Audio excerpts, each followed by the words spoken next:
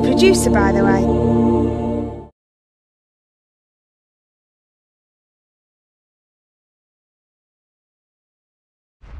My life is crazy.